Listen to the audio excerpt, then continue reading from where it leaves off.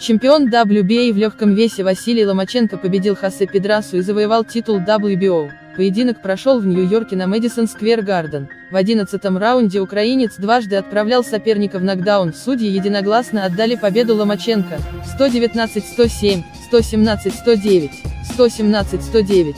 Для Ломаченко эта победа стала 12-й при одном поражении, у Педраса второе поражение в 27 боях. В андеркарде боя Ломаченко, Педраса чемпион WBO в легчайшем весе Айзек Догба проиграл мексиканцу Эммануэле Наварете, а россиянин Александр Беспутин победил доминиканца Хуана Карлоса Абрео.